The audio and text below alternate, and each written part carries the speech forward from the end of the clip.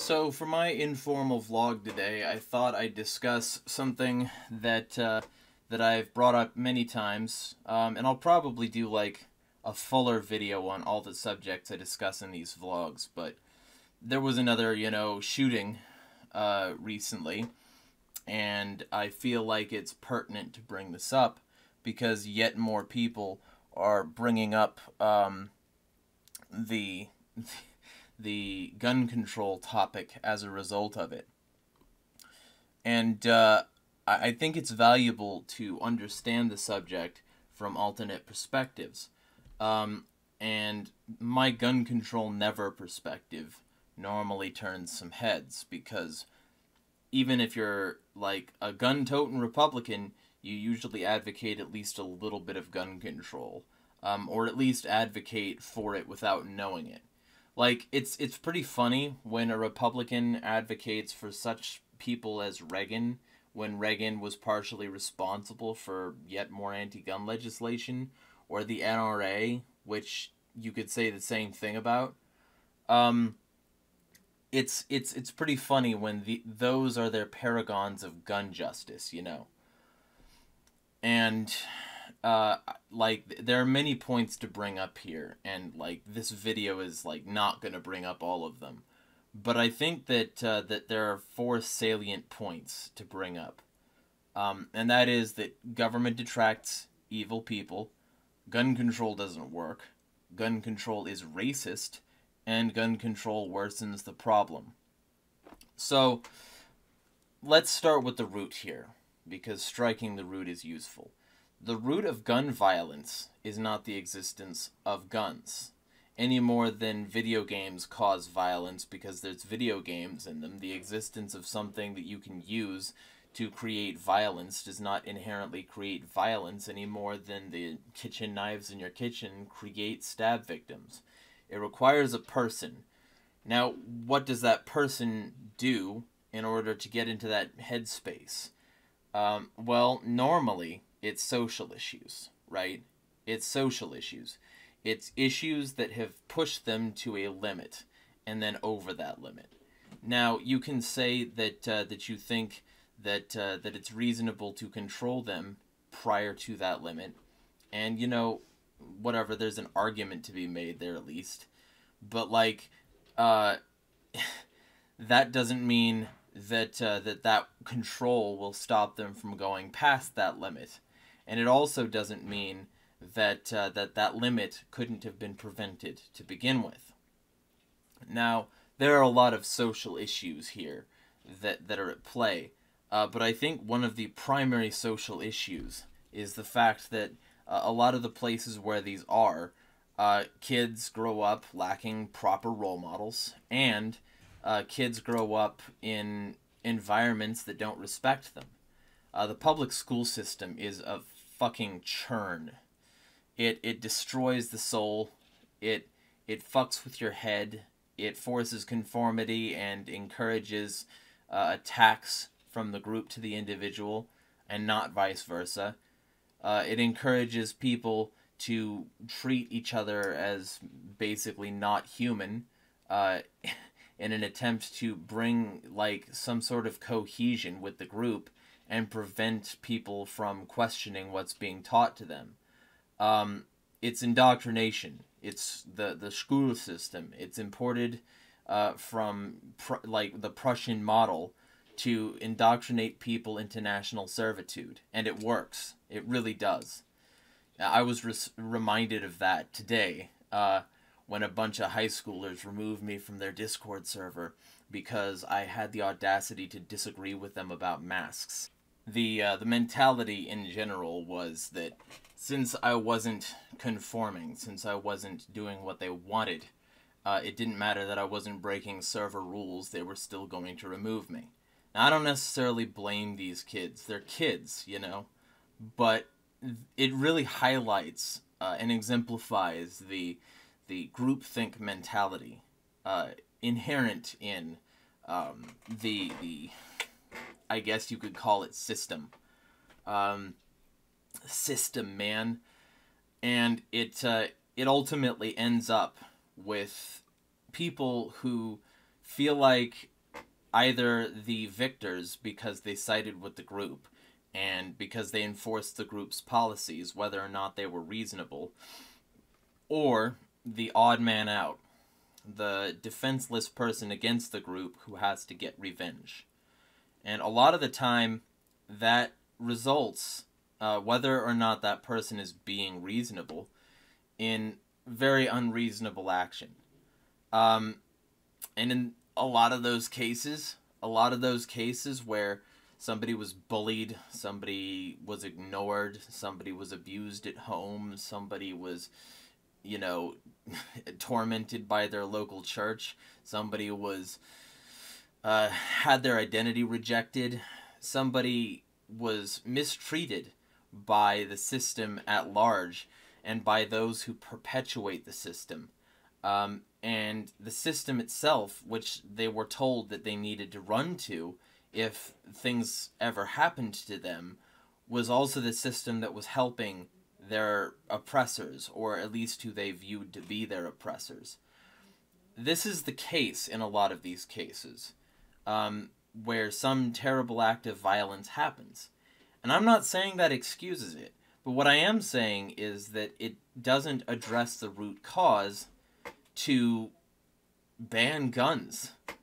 Uh, the root cause of it is a lack of proper role models and a lack of good social structure, uh, combined with the antagonism they feel came to them. And whether or not that's reasonable is is like a case by case subject. You know, like a lot of these people were bullied. A lot of these people were victims in one way or more and simply ignoring the human element of it so that you can have your fucking uh, virtue signal session, your two minutes hate, doesn't actually prevent more deaths.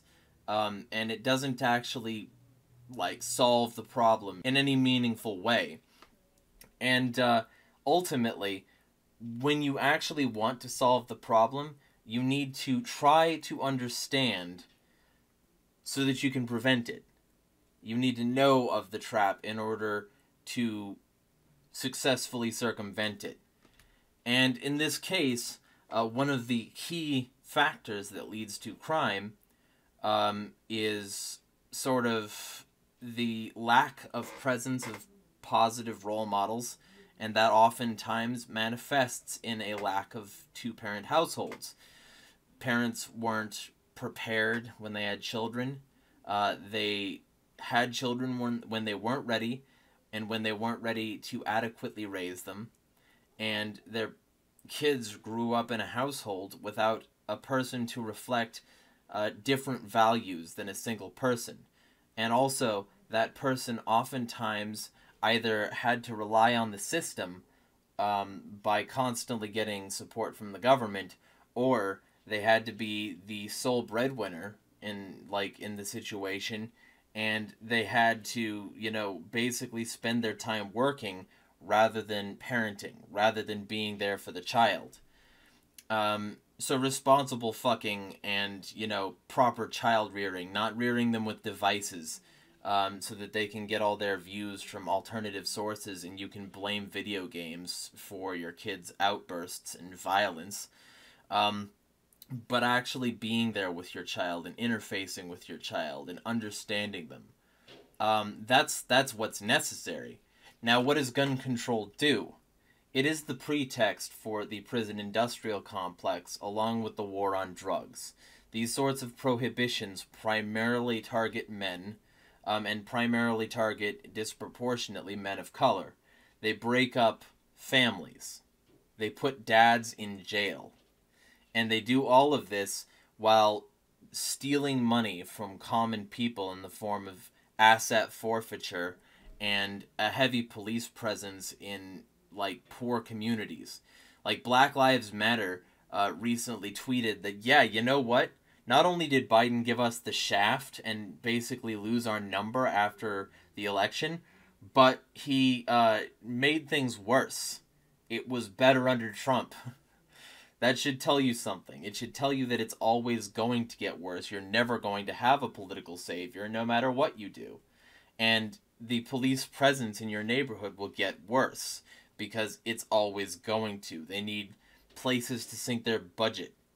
And they want their budget to continue to expand instead of contract um, because it's a, it's, it's a for-profit scheme. So they'll spend money on ridiculous shit, not effective training and de-escalation, um, but like, you know, exclusive exotic training in places like Israel and also a bunch of toys to be sent home, like Bearcats and shit. Um, and you know th- they'll do all this stuff, um, while ignoring the fact that they're making these sorts of situations worse, or they don't care because they're in on that and they don't mind the fact that they're fucking up communities. They get to keep their stable job and claim that the crime problem is getting worse all while helping make it worse. Like it's proven. You lock a dad up, the family is going to have a significant hard time raising those children. Um, so even if you're prepared as a family, even if you do everything right, they can still lock up like a member of the family and fuck up the dynamic. Um, the state has broken so many homes, so many homes, and they've like created this culture um, with their corporate like consumerist bullshit of devices raising kids. So don't be surprised when your kid turns into the sort of person who would be violent. And additionally, you know, it's definitely racist. It primarily targets black people. Gun control does.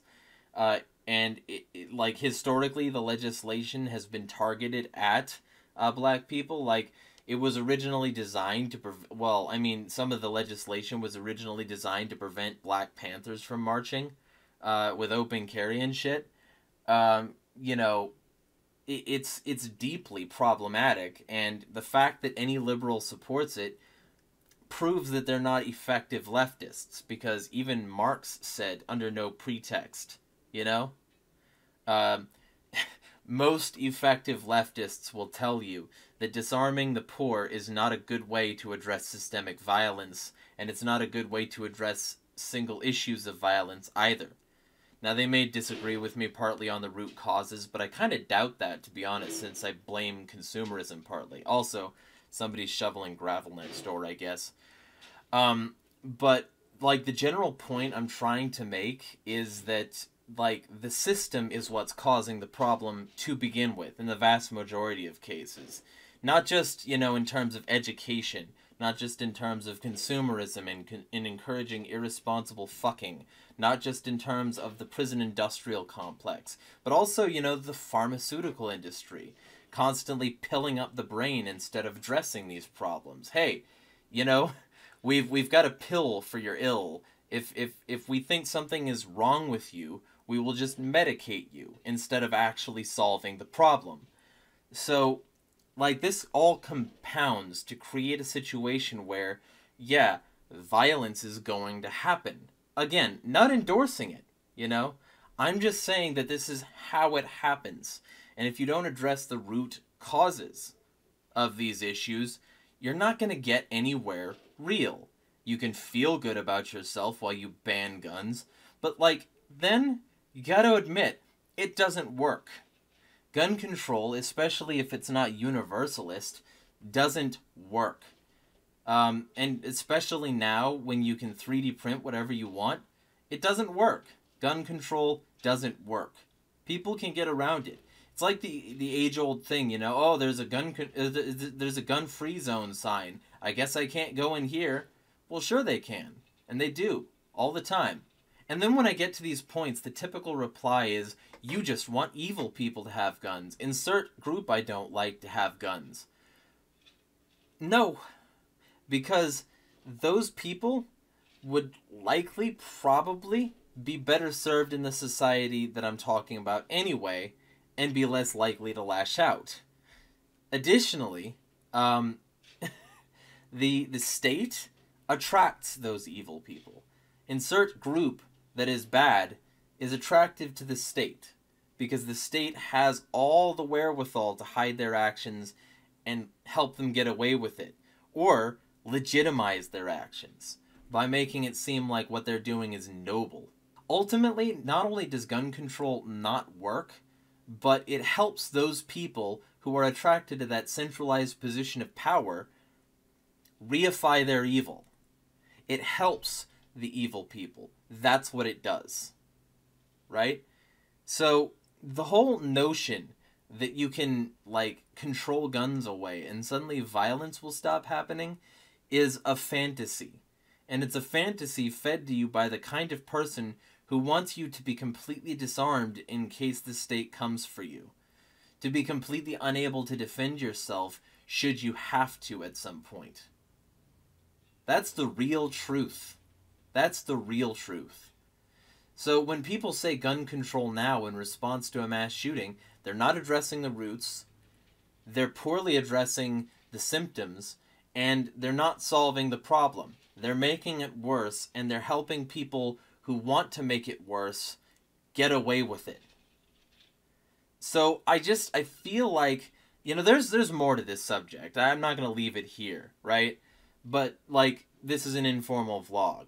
I just I feel like it's good to point this out and really hammer it home because most people don't think about it in these terms and as a result they end up thinking that anybody who advocates against gun control is somehow some sort of nutcase or evil. But the truth is that a lot of us have thought this stuff through and just don't think that gun control is the solution. And you wouldn't know that if you didn't get into a conversation with us. You know, banning people from servers and shit might be preferable to those with weak minds, but like, those of you who have like a prefrontal cortex and a functioning brain uh, have a much greater likelihood of accepting an honest conversation uh, with people. And I think that, like, having this honest conversation could help.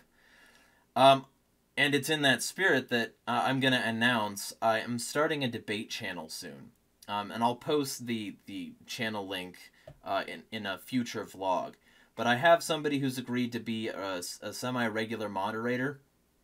Um, and if you decide you want to have a constructive, moderated debate. Not one of those debates on channels like Superpower Broadcasting or whatever that Kevin Castley idiot does, um, but actual debates, thoughtful debates with like logical fallacies avoided and structure and statements and shit. Uh, feel free.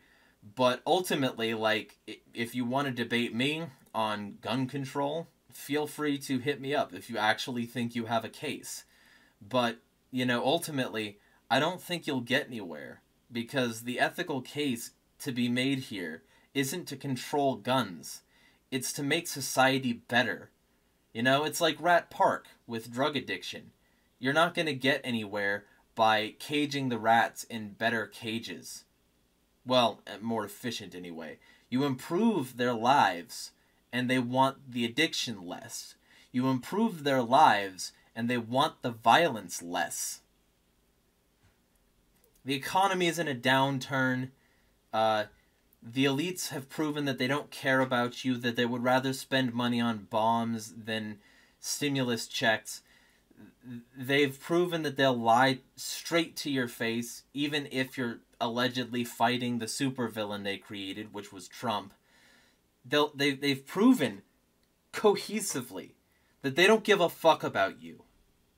You know, that's why they didn't like people like Michael Jackson. It's not because of anything he allegedly did. Um, the elites love people like Epstein, and they have no problem with people even like approaching the specter they gave Michael Jackson, which was never proven, by the way, and he's been acquitted. So I'm pretty happy about that because it seemed like there was no proof against him. That's a vlog, I guess, for another day. But like, uh, when when it comes down to it, uh, people form these connections in the state to truly awful people, right? They don't care about like stopping crime. They're not on your side. They care about reifying their power in any way that they can. And in this particular case, they do it by stripping arms from the hands of the poor people while ignoring the amount that they fucked the poor people over or actively doing it more to exacerbate the situation and create enough chaos that their Ordo Ab Chao model can work. Their problem reaction solution model can work. So I just thought I'd give people some something to think about in that regard. Uh, disjointed rant or two. I can't say never hurt anybody, but, but maybe this one will hurt the state's propaganda. And that's what I care about. Anyway, speaking of that, this is sponsored by OPSEC Drip. Feel free to check out his channel right here and uh, subscribe to let him know that his money went somewhere good. Um, it's uh, 240 pixels of Shemagh born libertarian action. News that you can listen to in bite sized chunks. So feel free to go subscribe. Smash the state.